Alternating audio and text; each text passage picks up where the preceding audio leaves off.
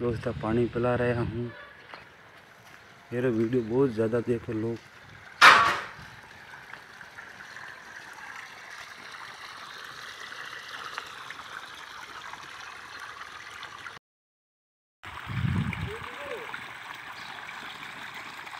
हाँ। ओ